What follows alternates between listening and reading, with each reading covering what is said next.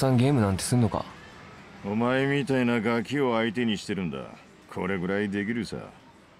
それに戸田殺しの容疑者のお前に会ってることがすでにやべえことなんだ。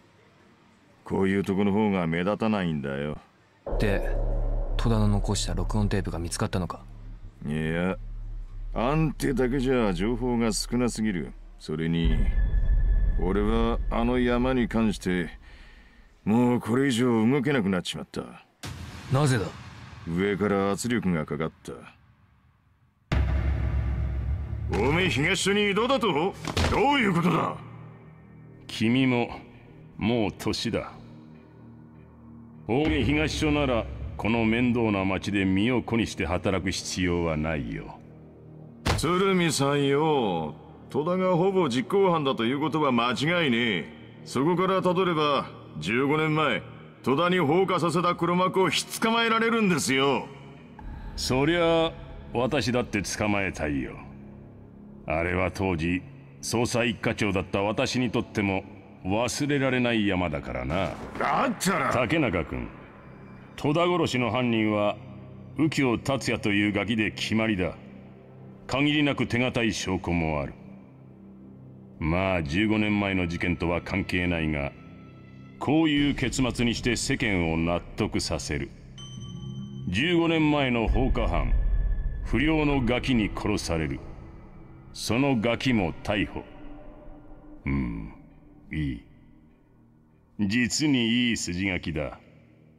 それにこれ以上の捜査は時間と経費の無駄だからな。その筋書き嫌だと言ったら？残念だが君に選択権はない。これは命令だよ。捜査一課長の鷲尾は俺と同じく放火の真犯人。それにまつわる全てを解き明かしたいと思ってる。だが上層部含め他の全員今はお前を戸田殺しの犯人として挙げる方針だ。くそ。お前本当にやってねえんだな？確かに戸田の闇金を襲った戸田もボコった。だが殺してねえよ。戸田が生きてる姿を俺は見たんだよ。戸田が死体になったのはその後だ。戸田を殺したのはおそらく15年前の放火事件の黒幕だ。黒幕。当時カムロ町のチャンピオン街一帯の再開発には政治家ゼネコン利権に群がる有象無象がいたんだ。結局放火殺人事件の悪評とバブルがはじけて再開発計画は頓挫しちまったがな。そんなことは俺に関係ねえよ。金光の店で焼死したパートの女の夫。放火された後登場街に入ったっていうその男が内通者じゃねえのか。とすればその内通者が戸田殺しの犯人だろ戸田を恨む動機もあるぞ。そうかもしれん。だがおそらく違う。なんでそう言い切れんだよおっさん内通者が誰か知ってんじゃねえのか。俺の勘刑事の勘さ。そんなの当てになんのかよ。とにかく戸田が残したっていう録音データさえあれば全てがはっきりする。手がかりは久喜の死に際の言葉「あん」ってだけか。どこかの店の名前かそれとも人の名前かあん。外人なのか？あんたら警察は何か掴んでないのか？お前が襲った戸田の闇金事務所を改めて徹底的に捜索したが戸田とアンをつなぐようなものは何も出てきていない。じゃあ戸田の手下を片っ端から締め上げて聞き出すとか。戸田は用心深い男だったみたいだ。会話を録音する癖があるほどの男だ。大事なことは部下とはいえ他人には喋ってないだろうあとは警察の手が入ってない。戸田が経営していた長楽って中華料理屋に何かヒントがあるかもしれんが。あそこは閉鎖されてたぜ。大丈夫なのか？ああだがちょいと荒っぽいことをすれば入れないことはない。俺の立場で進めるのはちょっと問題だが。なんだよ今さらじゃあ俺は今から独り言言うぞ。あああ教えてくれ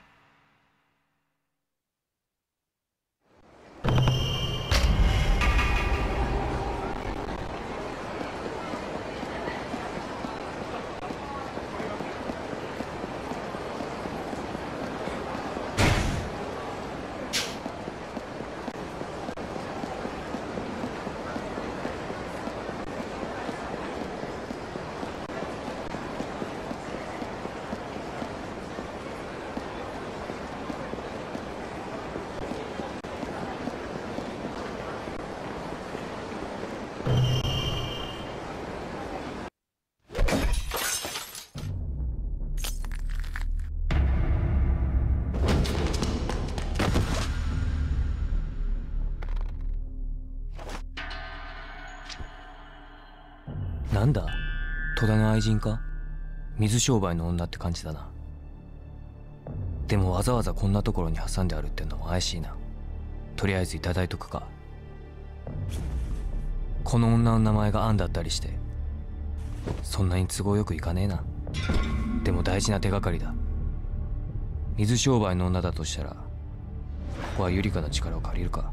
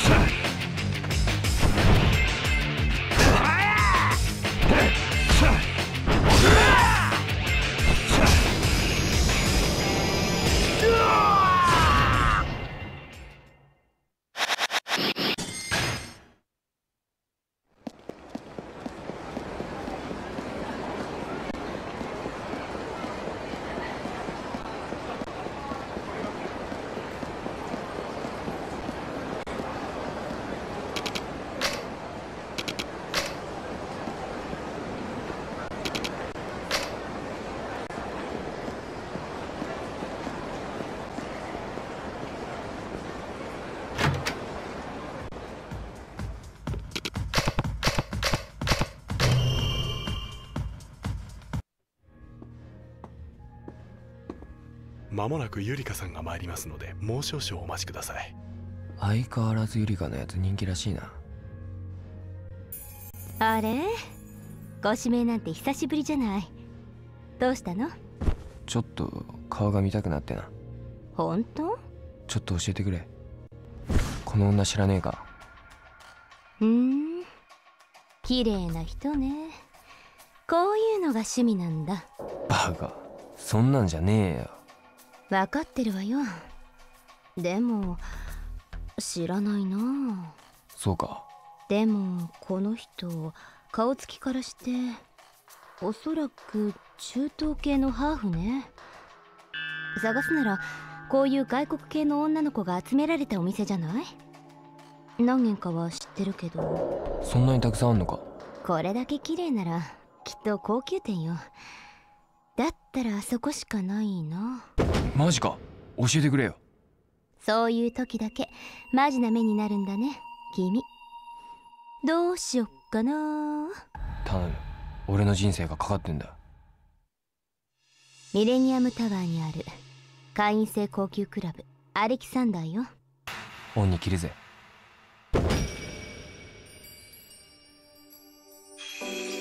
なんかヤバいことに首を突っ込んでるみたいだけど。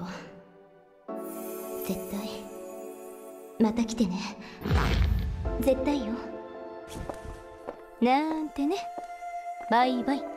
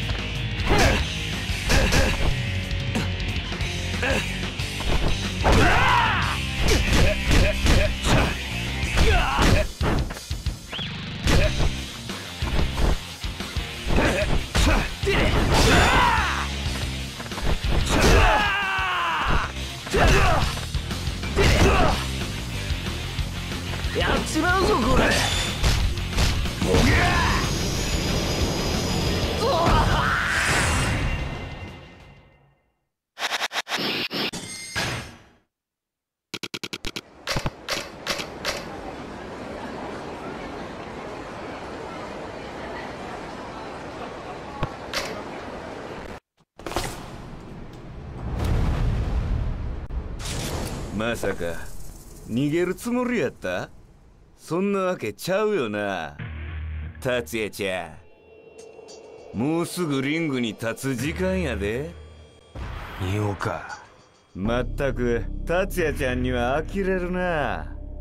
戸田殺しの犯人のくせに茎殺しまで。俺じゃねでも現場には達也ちゃんのブレスレットとハンカチが落ちとったさかいな動かぬ証拠ってやつや。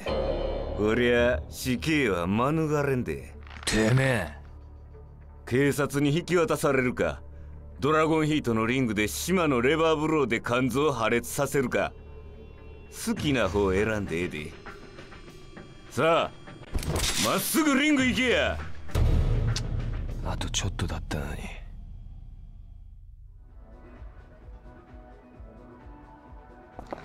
あら珍しいわね。こんな若い男。セクシーな方ですね。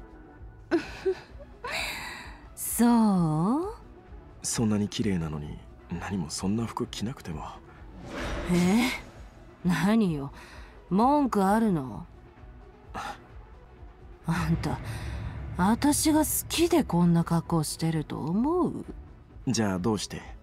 決まってるでしょ。生きてくためよ。弟と二人。この町で生きてくためにね。やっぱりあなたは変わってない。お久しぶりです。蝶です。蝶？まさかあなた。ちょっと付き合ってもらえますか？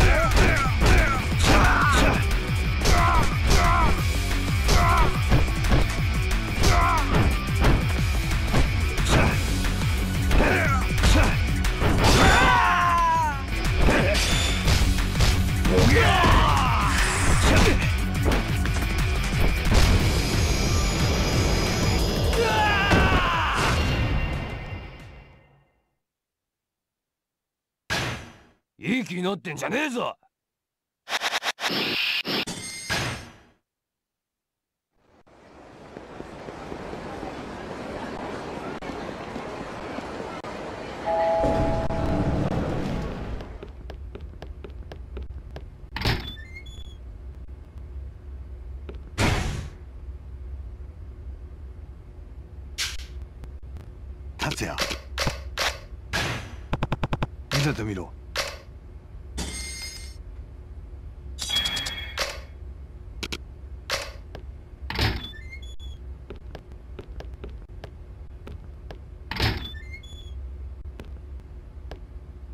達也君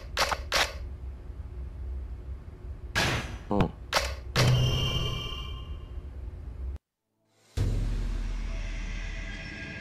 戸田の方は竹中のおっさんに頼むしかねえな。達也かどうした？戸田の中華料理屋で写真を見つけた。ミレニアムタワーにあるクラブアレキサンダーのホステスを洗ってくれ。写真は携帯メールに送ってく俺は事情があってしばらく動けねえんだ。分かっ内通者は乃木っていうボクサーらしいな。たよく調べたな。だがそれ以上は俺に教えるつもりはねえんだろそれはいい。10連勝して乃木の口から戸田を殺した犯人が誰なのか全て吐かせてやる。俺とどっちが早いかだな。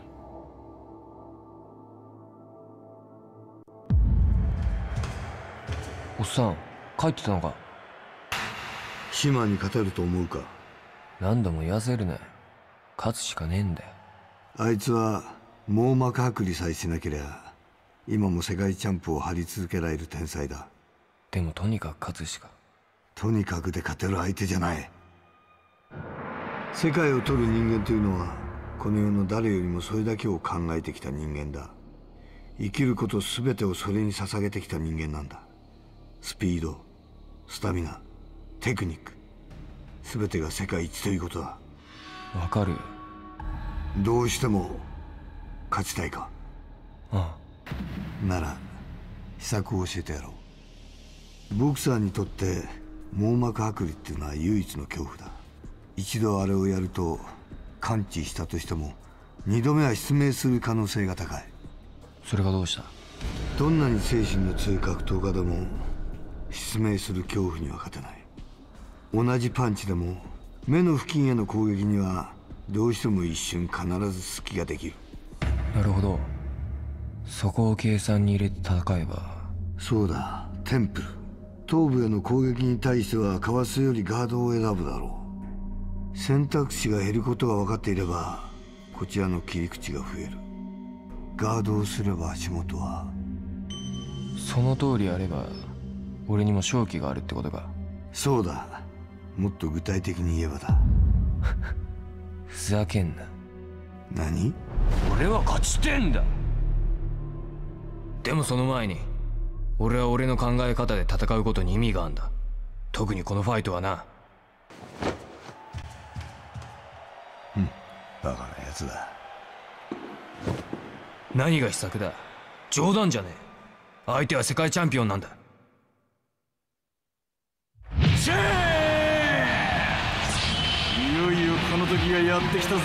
マイベイベーザ・ヒストリー・チェンジそして新たな伝説が生まれる。On the head. 8連勝中のこの男にもう説明はいらねえだろ。カムロの恐竜。達也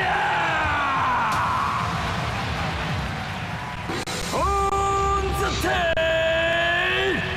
殺のレバーブローを引っ提げてあの生きる伝説が帰ってきたぜ元ボクシングミドル級世界チャンピオンアイアンシメ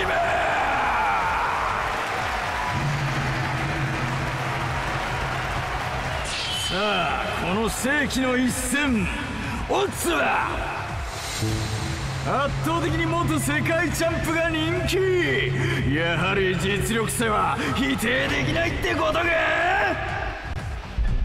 すまんかったのう。ちの若い奴らがえらい世話になったそうやな。いい弟子を持ってるみてえだな。8連勝やて。すごいやないか。まさかここに呼ばれる日が来るとは思わなんだ。こんなに燃えるんは世界タイトルマッチ以来や楽しませてもらうで。遠慮せんとどんな手使ってきてもええで。不良のガキの意地見せてみいや。チャンピオン胸借りるぜ。なんや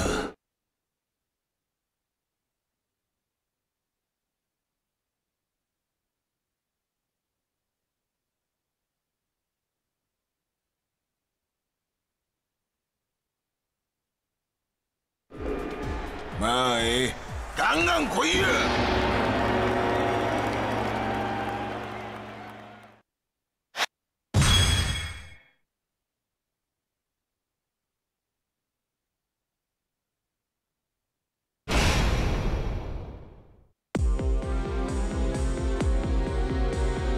島は超一流のボクサーよ。正々堂々と全力で戦って頭や目を狙うのは卑怯者のすることよ。島の目はダメ100億年早いんじゃ。カウンターに気をつけてってぞ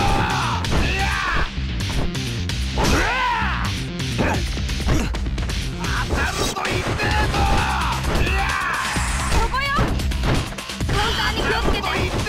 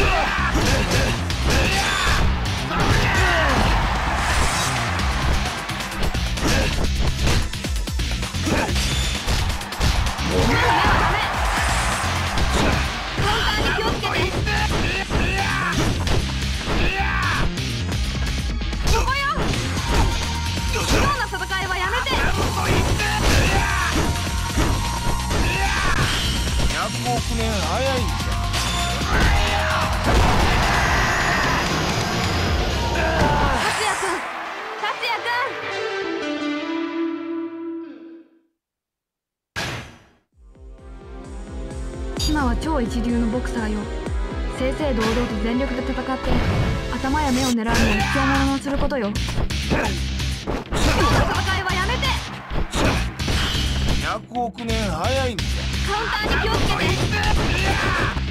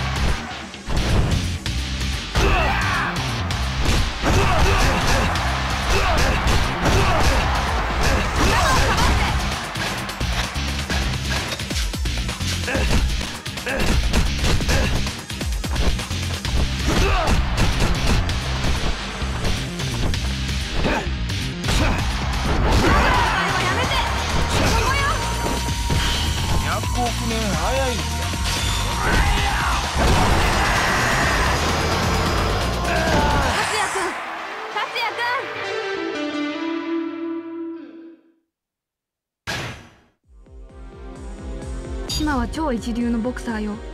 正々堂々と全力で戦って頭や目を狙うのを卑怯者のすることよ。戦い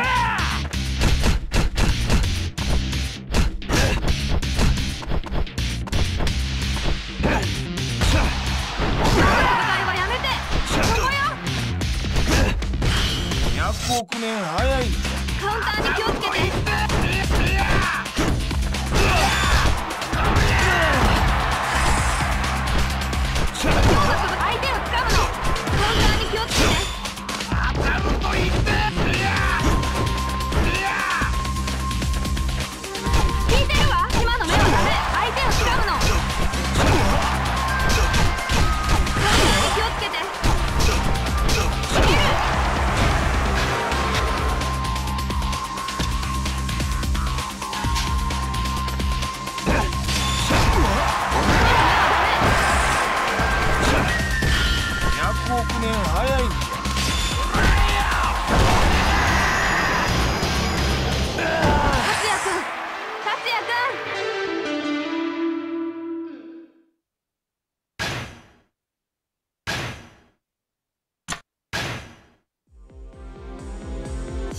超一流のボクサーよ。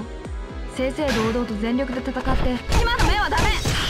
ゃ100億年早いんじゃ。カウンターに気をつけて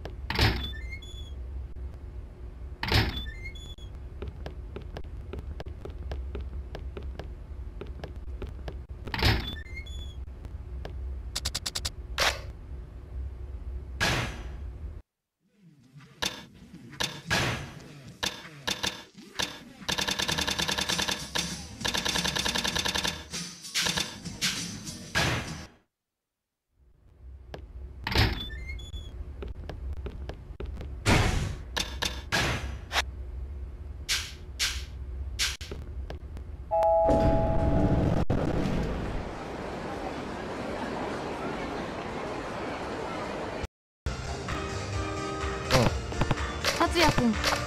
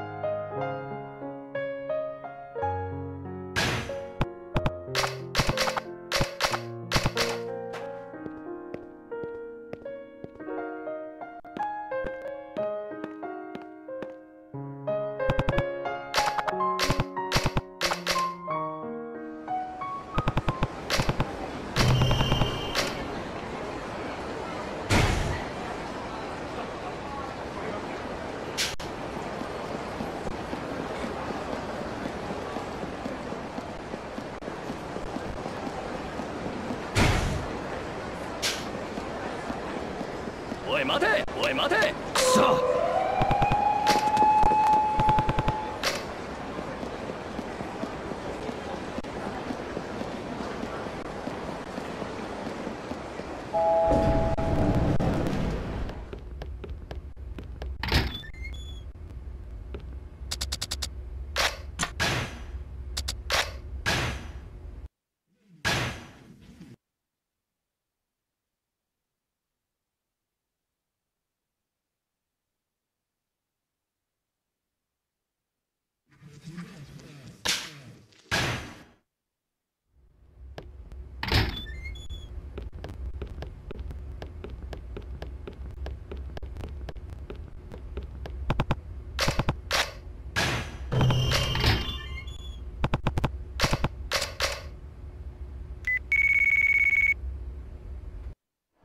お前の狙った通りかもしれん。じゃああの女は？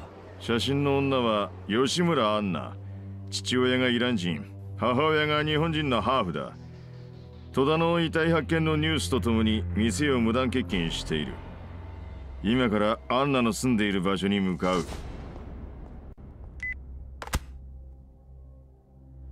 もうすぐだ。もうすぐ全てが終わる。だがこの先に何が待ってんだ？こういう場合どっちを応援すればいいのかな？ねえ。どうしてあなたと泰山先生が戦わなきゃいけないの？さあな。本当のとこは俺にもわかんねえよ。手を出して。泰山先生はボクシングの立ち技がベースだけどあらゆる格闘技に精通してる戦ったのは見たことないけど。あちょっと前のあなたなら手も足も出なかったはず。でも今はどっちが勝つか私にはわからない。ねえ私ここで戦う格闘家を見て一つだけ分かったことがあるの。それは？ここに来る人間はいろんな事情を持ってる。自ら進んでここへやってきたファイター。そして気がついたらここへ流れ着いてしまったファイター。でもでも。全ては宿命だった気がする。人間宿命からは逃れようとしても逃れられない。宿命か。確かにな。ここで戦うようになったことも全ては宿命なのかもしれねえな。でも宿命を正面から乗り越えて運命が開ける。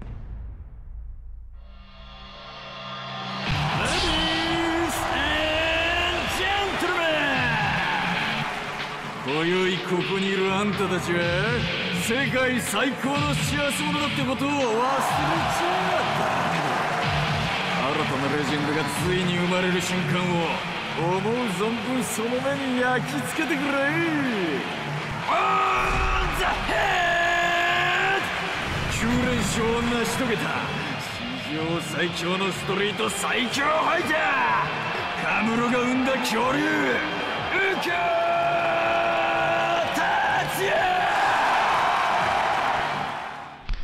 勝てば俺は自由になれんだな。10連勝したらその約束は久喜から聞いてる。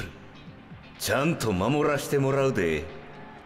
登場界の大門にかけてなそして10連勝をかけた達也に挑むのはビッグサプライズ!なんとこちらもまだドラゴンヒートと呼ばれる前のこの地下格闘場で9連勝を成し遂げた伝説の男オンザテイかつてあのアイアン島を KO で破りあらゆる格闘技をマスターしたマイスターナギ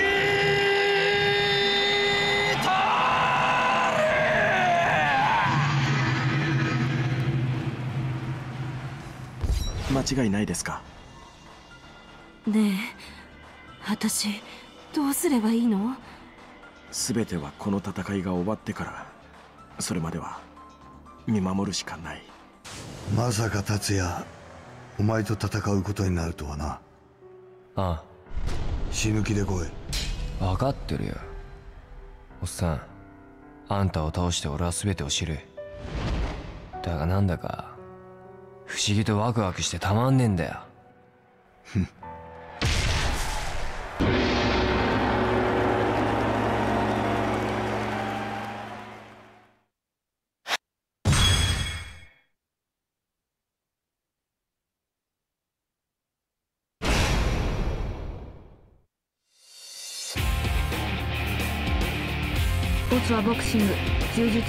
空手全ての格闘技をマスターしている。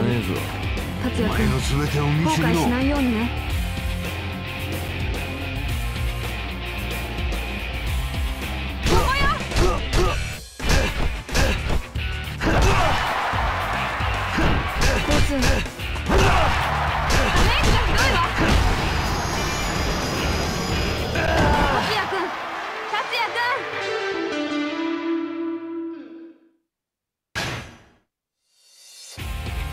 はボクシング柔術空手全ての格闘技をマスターしている。達也君後悔しないようにね。達也君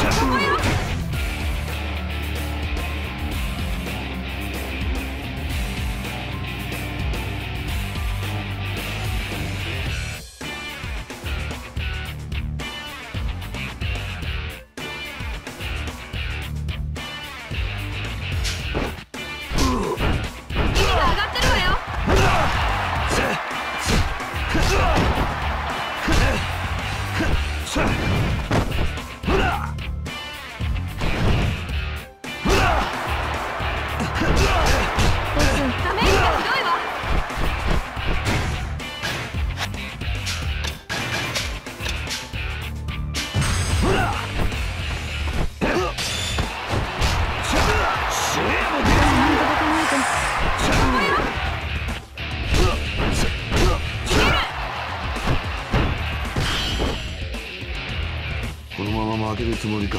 達也君。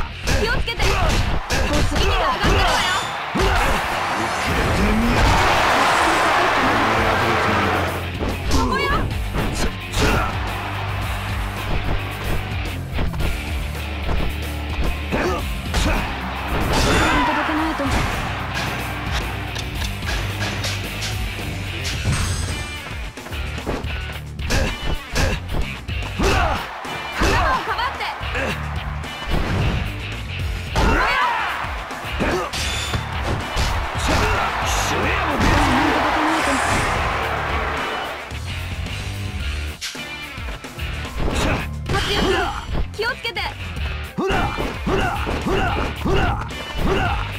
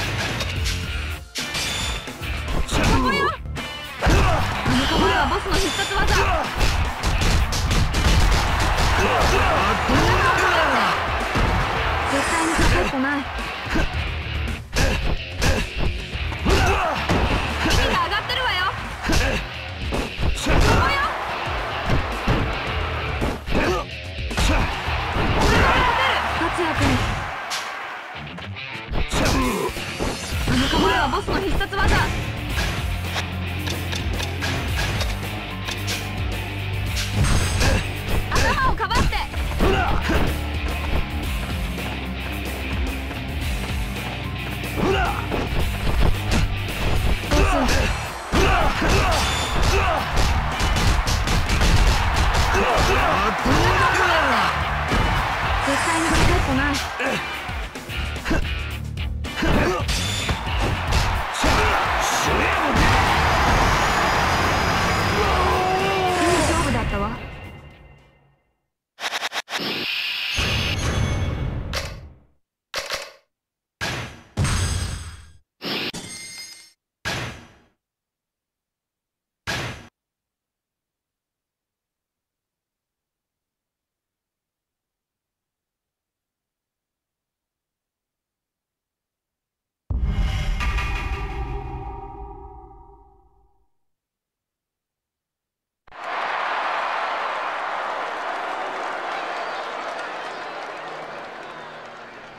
思った通りだいいファイトだ。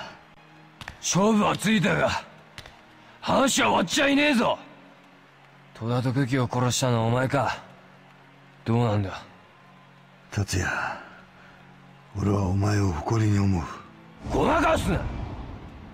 達也！サイコさん！達也やめて。お願いもうやめて。姉貴どうしてここへ？もう許してあげて。乃木さん大丈夫？乃木さん。乃木さん？サイコすまん。君にも苦労かけた。姉貴どうしてこいつを知ってる？この人はあなたのあなたのお父さんよ。は？ふざけんのもいい加減にしろ。ふざけてなんかないわ。本当の父と息子が殴り合ってるのを私がどんな気持ちで見てたかわからないでしょ場所を変えましょう。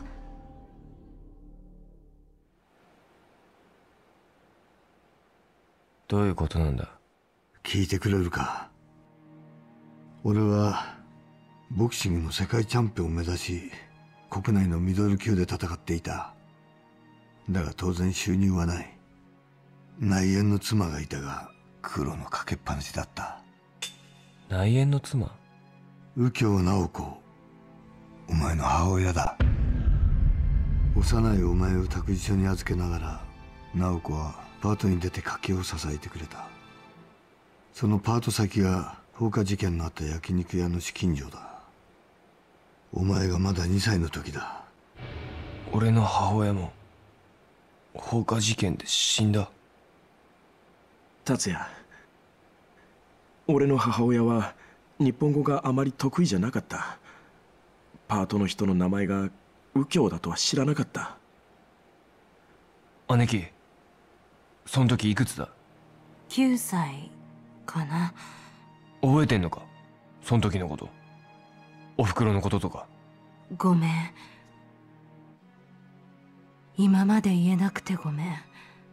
私達也と血はつながっていない。私の両親は金光。焼け死んだ焼肉屋の店主。金光の娘よ。え？孤児になった私を引き取ってくれたのが乃木さんなのよ亡くなった直子さんの実家右京家に頼み込んでくれって私を養子縁組までしてくれて。金光さんにはいろいろと世話になった。俺がいたジムの会長の親友で俺の試合もよく見に来てくれた。だからそうだったのか。そして幼い達也と一緒に右京家に引き取られた。本当にありがたかった。私は一りぼっちになるはずだったのに。でもでも。正直辛かったの。最初はみんな優しくしてくれた。でも時間が経つにつれ私と達也の居場所はなくなった。そしてある日私は決心したのカムロ町に戻ろうって。お金なんてなくってもいいから生まれ育った町で頑張ろうって。それに何より達也には乃木さんがお父さんが必要だろうって思ったから。でも乃木さんの行方はもう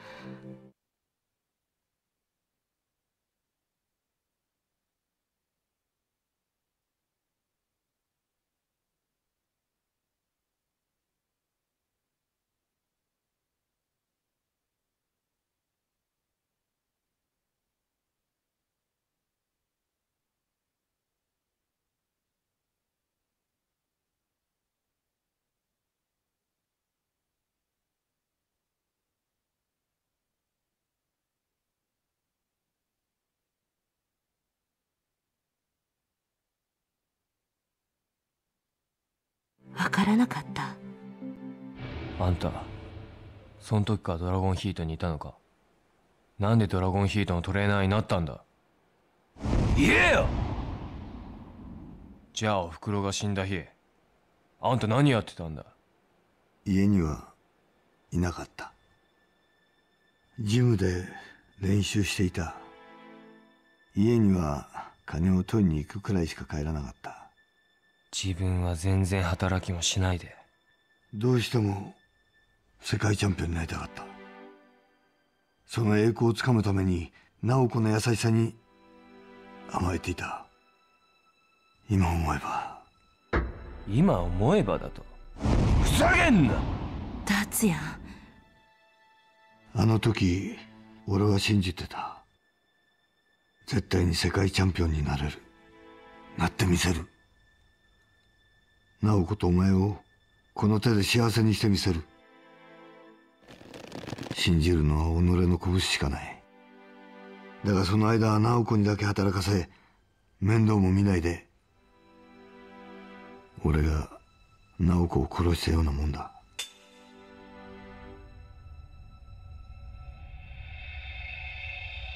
あと一回勝てば乃木さんは世界を狙える位置にいたってこの前達也と戦った島が言ってたわ。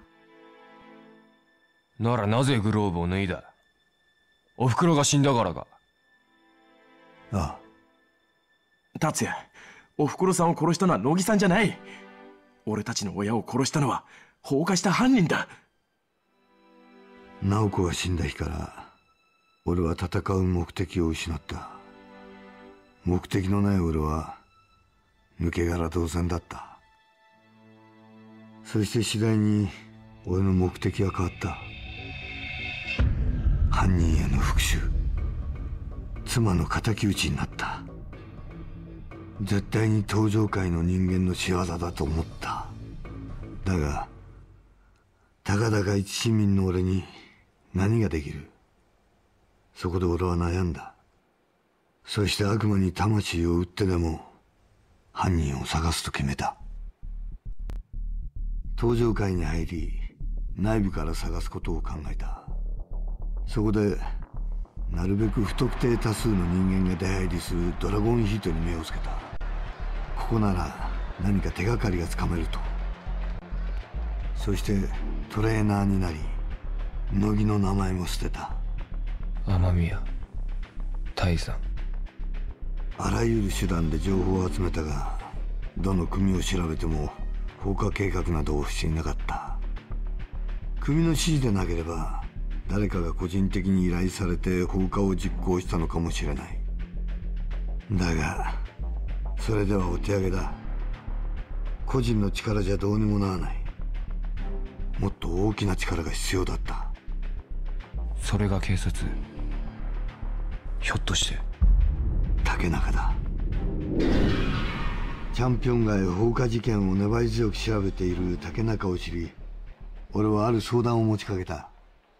捜査は？ああ奥さんを亡くされたあんたには申し訳ないがまだ何とも。でも俺もしらみつぶしに当たってる。何とかして。もし放火の犯人が分かったら先に俺に教えてくれ。え？殺しはしない。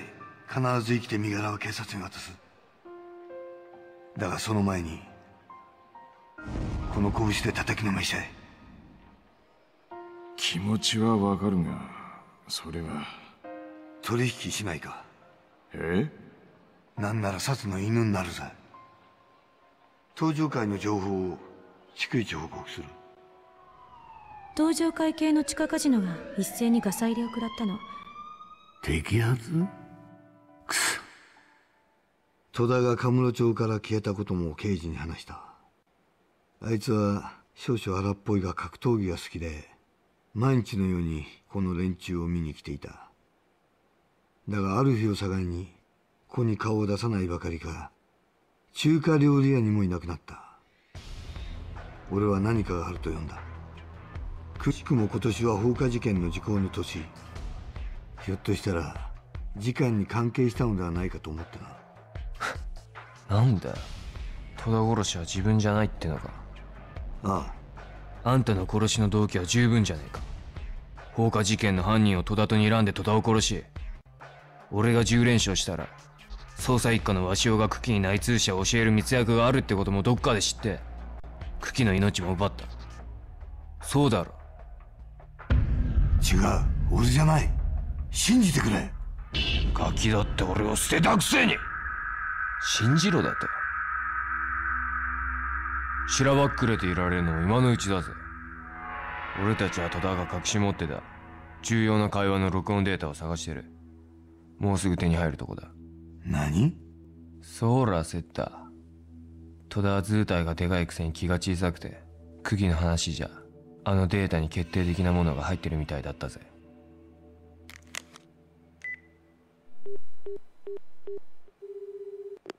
戸田の女の居場所が分かった。今から向かう。本当か？もうすぐ俺も戸田と茎殺しの犯人をおっさんに渡しそうだぜ。誰のことだ？乃木だ。バカ野郎！あいつは違うんだ。でも？話は全部聞かせてもろたで。泰山お前が殺の犬やったとは驚きやな。裏切り者を許すわけにはいかんお前も組織の一員や。分かっとるな。覚悟はできている。おい。学べない戦いに意味はない。真に強い者は単に勝ちを目指すのではなくどんな時も己の哲学を貫くことを目指す。お前の哲学はお前の経験こそが作っていくものなんだお前は人を大切にする強さを手に入れた。それは素晴らしいことだ。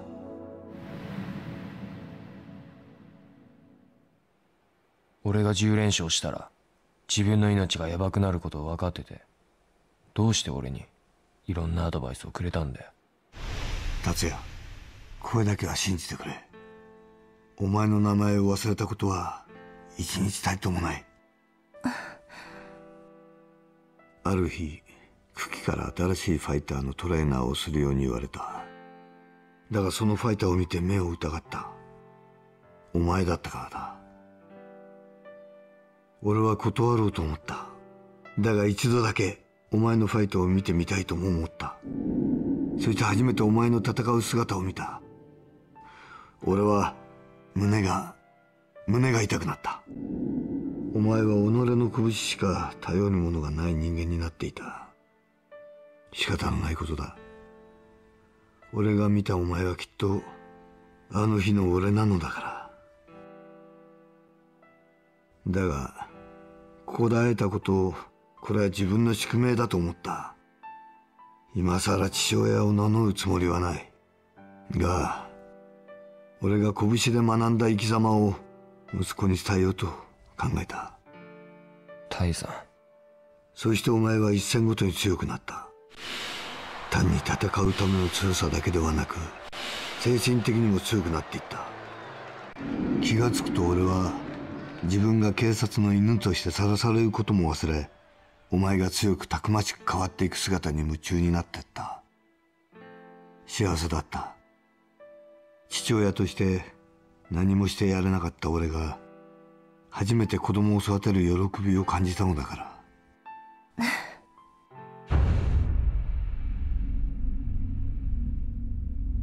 冴子さんを安全な場所へ。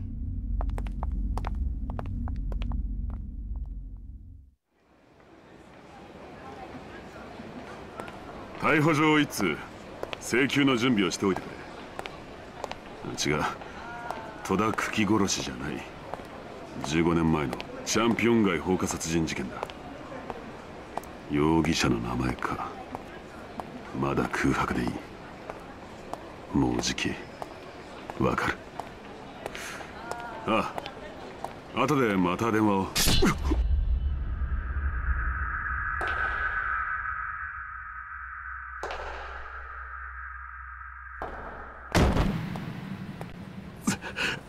つるみのやつ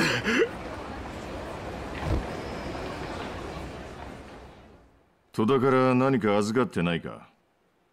うん別に。戸田は重要なものを隠したまま死んだ。だが奴の自宅店片っ端から探したが出てこない。超小型のマイクロカードか何かだ。親しかった君に何らかの形で渡していたとも考えられる。もうそろそろええやろ師匠に触らないで。てめえ。達也。10連勝したお前は約束通り自由の身や。ドラゴンヒート。それに登場会は今後一切お前の行動に関与せえへん。やが守ることもせん。警察から右京達也を見つけたらすぐに連絡をくれと言われとるんや。何？お前は戸田久喜殺しのすでに容疑者になっとるらしいからな。現場に落ちとったお前のブレスレット証拠として渡してもええんやで。そのブレスレットどこから？はあ？何言うとんねん。自分のもんやろが。あのハンカチもクッキーを殺した時に落っことしたんやろがここで電話一本かけて証拠や言うて渡してそれで警察に貸しができるやなんて安いもんや。てめえら。とはいえ豚僕に入れちまうのも少々惜しい気もする。お前はここじゃ今やスーパースター金のなる木や。俺の管理の下でここで戦ってくれるというんやったらそこにいる札の犬に戸田久喜殺しの罪を追っかぶせたままにすることもできるんやで。さすがに悪知恵の働く男だ。そのためにもおとなしくそいつをこっちに渡してくれや。断る。俺の10連勝誰よりも後押ししてくれたのは泰山だ。俺だけの力でそれはできなかった。そのブレスレットを盗んで現場に置いたのは内通者ってやつの仕業だと思ってた。が泰山が俺からブレスレットを盗んで現場に落とし濡れ衣を着させるなんてことをするなんて思えねえ。達也。真犯人は他にいる。どうやら敵は相当厄介なやつみてえだが必ずそいつを見つけ出す。行くぜ。ああ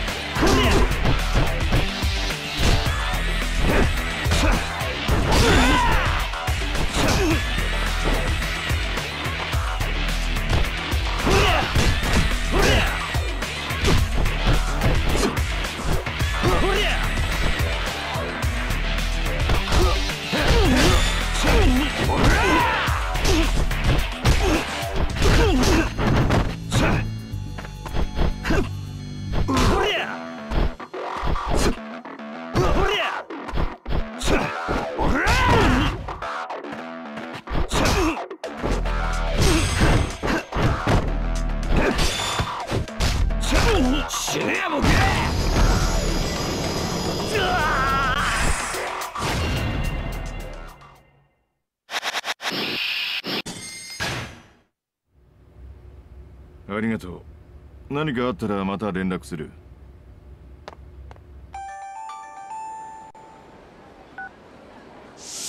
こっちは落ち着いた。でも時間はない。そっちはどうだ？戸田の女から話を聞けた。本当か？そういえば戸田さん私にワインをプレゼントしてくれたわ。ワイン？私が生まれた年のワインをわざわざ取り寄せて店に持ってきてくれたのこれをワインセラーで保管しておいてくれって。で私の誕生日が来たら一緒に飲もうって。誕生日いつ？まだずっと先よ。嬉しかったけどずいぶん早いのねって私が言ったのを覚えてるわ。ワインの名前は？シャトー・シャノワール85年。私の名前で札がかかってる。あん？俺が来るまで誰にも触らせるなって。ミレニアムタワーのクラブアレキサンダー。シャトー・シャヌワール85年だな。今から向かう。やめろ。町は危険だ。捜査一課がお前を追っている。そしてどういうわけか鷲尾とも全く連絡がつかない。嫌な予感がするんだ。達也